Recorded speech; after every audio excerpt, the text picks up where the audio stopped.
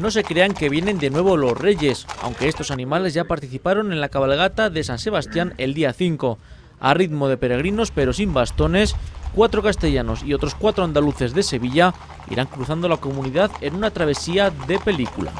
Es una locura. Nosotros somos de Sevilla y aquí hace mucho frío. Es lo que cada, cada uno le gusta y si lo que te gusta es llevar seis animales y el carro, pues con lo que te gusta. A ellos les gustan también los camellos y vamos todos intercambiándonos los camellos, los animales. Frío, lo que haga falta, pues para adelante y como un rocío. Salen los críos a las calles a vernos y piensan entre los compañeros que veréis aquí que son con camellos que se quedan un poco extrañados porque piensan que los camellos son par desiertos y no se esperaban ver unos camellos por aquí, por estos pueblos de Dios, ¿no?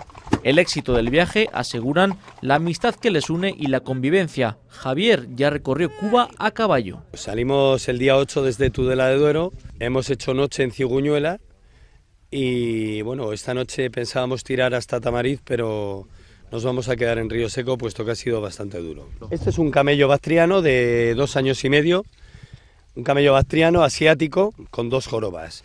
Y los otros son dromedarios de África de una sola joroba. No necesitan alforjas, un vehículo de apoyo les transporta los alimentos y el material necesario. No es lo normal ver animales como estos en Castilla y León, pero hoy les queremos demostrar cómo esta caravana, con cinco dromedarios, tres camellos y seis caballos, tiene la misión de llegar a Santiago de Compostela. La última parada del sábado, Medina de Río Seco, un alto en el camino para recuperar energías. El camino este que empieza aquí, justo en la dársena, el trozo del camino, es algo muy agradable, pero encontrarse con estos dromedarios y estas personas que en un mes de enero, con el frío que está haciendo, desde luego es para felicitarles. Y el lunes esperan llegar ya a León. Buen camino.